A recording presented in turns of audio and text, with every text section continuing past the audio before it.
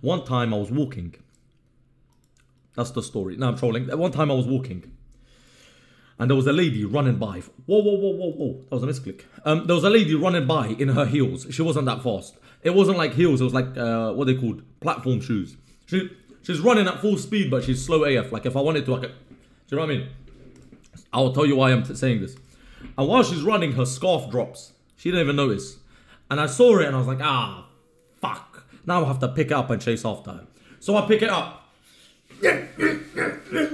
I catch up to her in one second, obviously. And then I, um, as soon as I get to her, she looks around and she grabs her neck, like, wait, what? And then I'm like, oh, here's your scarf, you dropped it. All cool and casual. And then she says, oh my god, thank you. She had like an accent, she was like Eastern European or something. And then I said, it's alright. And I walked. I continued to walk. Can I get a Sigma emote in the chat, please? I don't know why I'm hyping myself up, but give me one fast. So I continue walking. And then she pauses for a bit, chases after me, stops next to me and starts like walking at my speed. And then she says, Wow, that was really nice of you. Are you a man of God?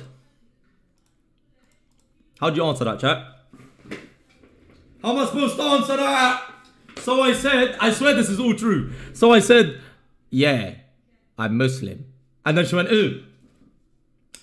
Well, um, not many people would have done that for me, so thank you. And then she ran off again. Fucking lady! Ah! Anywho's, did you get...